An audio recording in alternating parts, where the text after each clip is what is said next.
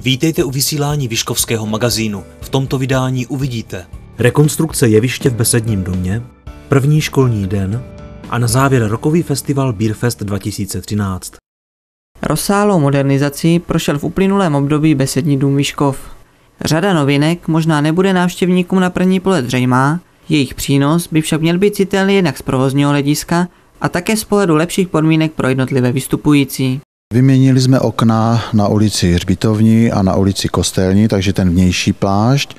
Jsou to okna, takzvaná eurookna, dřevěná okna, která jsou třikomorová a splňují tedy ty nejpřísnější normy, jednak co se týká izolace jako tepelné, takže věřím a doufám a samozřejmě, že to tak je, že ušetříme i tolik drahou energii a samozřejmě to i zvuková záležitost, protože když jsme tady měli koncerty některých hudebních skupin, třeba katapultu, tak skutečně ten silný zvuk byl slyšet ven a ta nová okna tomuto zamezí. Co se týká podlahy na jevišti, tak eh, zde došlo také k úpravě, protože ta podlaha byla taková klasická jako z parket. Parkety jednak klouzaly poměrně dost významně, takže to někdy způsobilo i některé nepříjemné situace, no a hodně vrzali. Takže podlaha, která je tvořena parketami, tak není vhodná, proto jsme samozřejmě oslovili firmu zabývající se speciálně tady těmito podlahami a firma položila takovou podlahu, která patří prostě na divadla. Takže teď tu máme skutečně prkna, která znamenají svět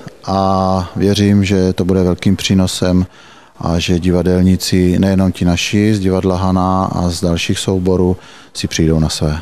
Zmodernizovaný sál čeká první zatěžkávací zkouška i v září, kdy besední dům navštíví i někteří umělci velmi zvučných men.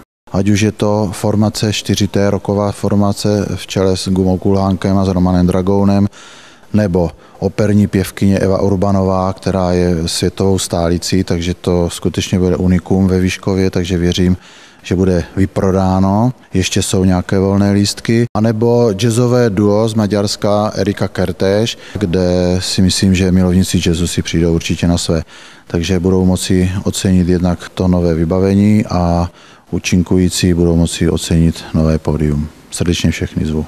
Vedle jmenovaných akcí můžeme zmínit ještě připravované vystoupení baviče a zpěváka Vladimíra Hrona, či herecké představení Herci jsou unavení. Bližší informace k chystaným představením jsou k dispozici na stránkách Městského kulturního střediska Výškov.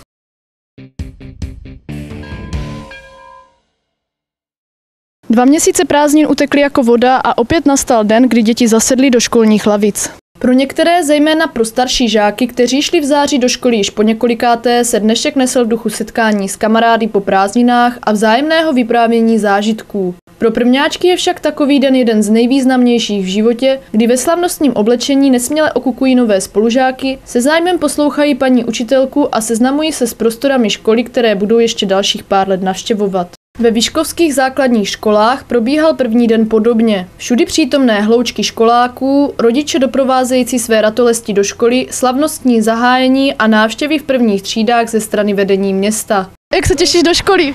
Netěším. Hodně. A na co se těšíš nejvíc? Na kamarády. Jo, těšíš se v pohodě. Bere to dobře. Těším se moc. A na co se těšíš nejvíc? Na výtvarku. Na jaký předmět se těšíš letos? No, jak, jak bych to řekl, na matiku, tam máme super učitelku a to asi tak všechno. My jsme 2. září navštívili hned několik škol, a to základní školy Tyršova 4, Morávkova 40 a Letní pole. V některých prvních třídách probíhalo slavnostní zahájení komorněji, jinde na prvňáčky čekalo netradiční přivítání, jako například na základní škole Morávkova, kde se mohly děti těšit na podmořský svět a písmenkové rybičky. Dnešní den je slavnostní, hlavně pro prvňáčky.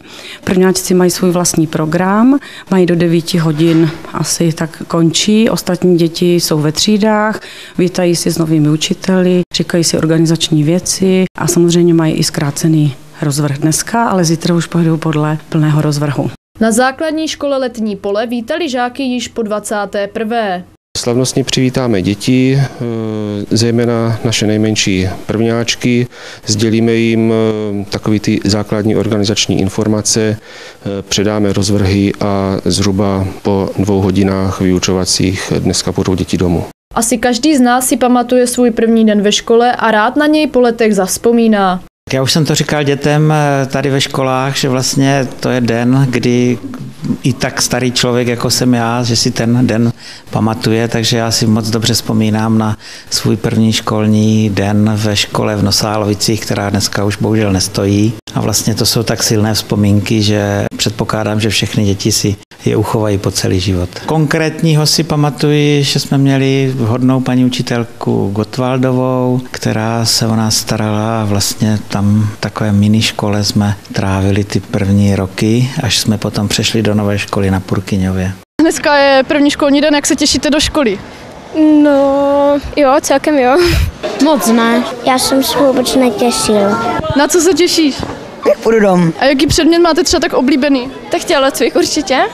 A zeměpis. Oblíbené předměty byl český jazyk, méně oblíbená byla matematika. Český jazyk a vůbec jazyky myšli samo, to počítání a kreslení bylo už horší. Oproti minulým rokům lze ve celostátním měřítku zaznamenat značný nárůst prvňáčků. Z mateřských škol přicházejí do prvních tříd silné ročníky a do lavic tak letos poprvé zasedne celkem 112 tisíc žáků, což je o 7 tisíc více než loni. Také ve Vyškově lze tento trend sledovat. Nyní v tomto školním roce otvíráme tři první třídy, na rozdíl od let minulých, protože zvyšující se počet dětí, které k nám přicházejí, jednak svědčí o zájmu o naši školu a jednak je to samozřejmě také tím, že se zvyšuje počet dětí v mateřských školách. Prvňáčků máme o 10 více než v minulém roce, takže demografický vývoj, který jsme predikovali na zastupitelstvu v koncepci školství, tak zatím se nám naplňuje, že nárůst nám přibývá a jinak žáků na základních školách máme okolo 2000 a v rozšířené působnosti 3000. Novinka už od Loňska je, že máme tři oddělení družiny. Tam jsme rozšiřovali, protože jsme měli hodně dětí na prvním stupni. I v letošním roce nám do prvních tříd jde 34 dětí a máme dva ročníky v první třídě, čemuž jsem ráda a děkuji rodičům, že se přihlásili k nám do školy. V letošním roce se také dočká změn vzdělávací plán žáků. No, co se týká novinek, došlo k úpravám našeho školního vzdělávacího programu, kdy se do něj zaváděly některé nové věci, tak jak nám vlastně dalo pokyny ministerstvo školství. Například je to změny ve výuce cizího jazyka. U nás ve škole konkrétně nabízíme další cizí jazyk, tentokrát ruštinu, nabízeli jsme doteď angličtinu a němčinu. Každá škola se na příchod žáků během dvouměsíčních prázdnin připravovala. Někde došlo k menším, spíše estetickým úpravám, jinde, například na základní škole Tyršova, proběhly opravy zásadnější. Já jsem velice rád, že se opět scházíme být 2. září, ale zahajujeme školní rok slavnostně a jsem velice rád, že se nám povedlo realizovat přes prázdniny zase spoustu investičních akcí. Zrovna stojíme na škole, na Tršovce, na základní škole, kde se podařilo konečně dozateplit eh, takzvaný spojovací krček a podařilo se doupravit tuto školu do nějaké finální podoby. Podělili se na tím z jedné části finanční zdroje a to byly dotace ze státního fondu životního prostředí z operačních programů. Dále jsme spravovali mateřské školy z těchto programů. Byla to mateřská škola Sochorova, Opatovice a mateřská škola Hraničky. Vyměňovali jsme okna a zateplovali na pavilonu školních družin a šaten, takže celá naše budova naší školy je zateplená a je v takovém stavu, v jakém by asi měla být. Co se týče oprav, dělali jsme opravy takové ty běžné, malovalo se lavečky před školou, lavečky se dělaly na hřišti, běžné úpravy, které vlastně dělá každá škola. Školu jsme připravovali tak jako každý rok přes prázdniny. V letošním roce probíhaly pouze menší práce, nějaké úpravy na zahradě, malování, opravy uvnitř budovy. Rozsáhlejší akce nebyla.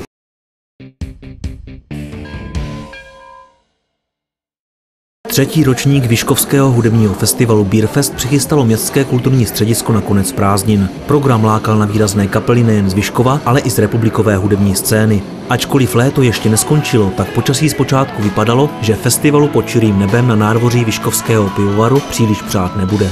Festival dneska začal docela nešťastně, protože ve 4 hodiny se otevřelo nebe a začalo pršet takovým způsobem, že se myslel, že je konec světa.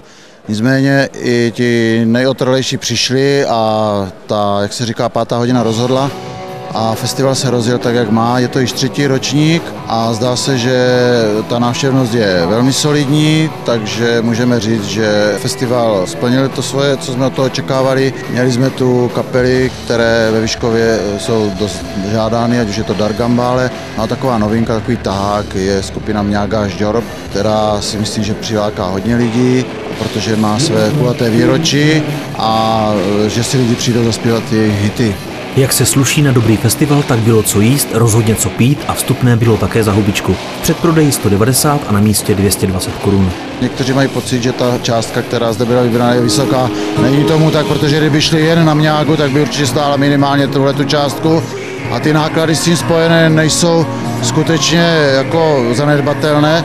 A tady máme obrovskou výhodu, že spolupráce s Vyškovským pivovarem je na velmi dobré úrovni a už jenom to, že máme vlastně areál jakoby zdarma, tak to je obrovská devíza a ta spolupráce s pivovarem je na velmi vysoké úrovni a doufám, že bude i nadále. Městské kulturní středisko ve Vyškově se v posledních letech snaží o výraznou spolupráci s místními státními, městskými i soukromými subjekty. Zářným příkladem, že jde o krok správným směrem, je právě Beerfest. Je to jeden z trendů a já si myslím, že je to obou straně výhodné, že prostě my pomůžeme jim, oni nám a myslím si, že se vzájemně takto doplňujeme a v případě Vyškovského pivovaru je to teda na bílední. Velkým tahákem a takzvaným zavíračem festivalu byla letos skupina Mňága až Dorp. Její frontman Petr Fiala Vyškovský festival ocenil a přiznal, že pro něj i kapelu mají podobné minifestivaly své kouzlo. Ty menší jsou zábavné v tom, že jako vidíme lokální kapely, že vlastně ty lidi, kteří nechtějí dojet, dojet někde daleko na takový ty monster mega akce, shopping parky s hudbou, tak prostě přijdou ve svém městě podpořit lokální festival, což si myslím, že je skvělý, že nemusí být jenom ty monster akce, ale prostě když se najde pivovár nebo fotbalové hřiště s těma topolama, tak to je jako taky pohoda. Máme to rádi, střídáme to rádi. Návštěvnost festivalu s necelými čtyřmi stovkami platících diváků sice nenaplnila očekávání organizátorů, ale pivovar rozhodně nezel prázdnotou. Účinkující se také dobře bavili a díky blízkosti pódiových zábran měli k divákům opravdu jen krok. Petra Fielu takováhle atmosféra prý inspiruje a dobíjí energií. Pokud člověk dělá fakt to co, to, co, to, co si sám vymyslel, nebo to, co fakt sám chce, tak vlastně jedno, jakoby, jestli těch lidí je 16 nebo 16 tisíc. Jo, když je víc, tak člověk jako, samozřejmě každý má trochu ego a dělá mu to dobře, že hraje na stejném publiku jak Alanis Morissette, ale jako hrát v takovém jako pivovaru je, je prostě úplně stejný pro mě. Snažím se lidi dostat na svoji stranu, oslovit, abych si to taky užil. A v podstatě mezi tím jako nevidím až tak velký rozdíl. Jo, tam někde je větší pódium, více běhá nebo tak někde menší, ale prostě v pohodě. Nějaká až dorobě na české hudební scéně více jak 20 let. Na naši otázku, kam se od námořnických oblečků, které kapela ve svých počátcích oblékala, dostala, jsme obdrželi tuto odpověď. No tak do toho pivovaru ve Výškově jsme se dostali. Dostali jsme se k tomu, že, že se hudbou, já nevím, 22 nebo kolik let živíme, jsme pořád kamarádi, teďka hrajeme v poslední, téhle sestavě hrajeme 10 let asi, děláme každé dva roky desku, že nás pořád baví vymýšlet nové písničky a zařazovat nejlepší z těch nových mezi ty osvědčené staré a vlastně vedeme takový strašně příjemný způsob života, protože Česko je opravdu unikátní země, proli jsme hodně zemí okolo, i třeba na jako hudebníci. Jo, ale když jsem v sobotu večer v Rakousku, tak tam fakt sípl pes, jo. V Maďarsku to taky moc není, jo, v Belgii taky ne. A tady se prostě v každý díře český mastí pátek, sobota, jo. Furt se něco děje. Žádný český kapely se nerozpadají, všichni furt mají kde hrát, pohoda. Jo, kapely, které existují, český mají svý revivaly, to je úplně absurdní, jako jo.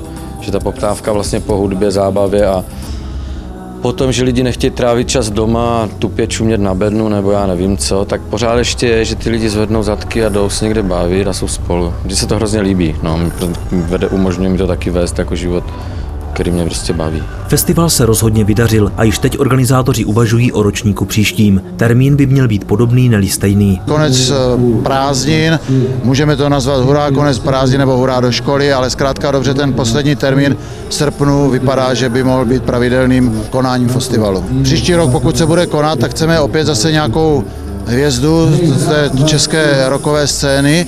No a plus teda letos, eh, příští rok bychom se vrátili k těm výškovským kapelám a dali jim prostor.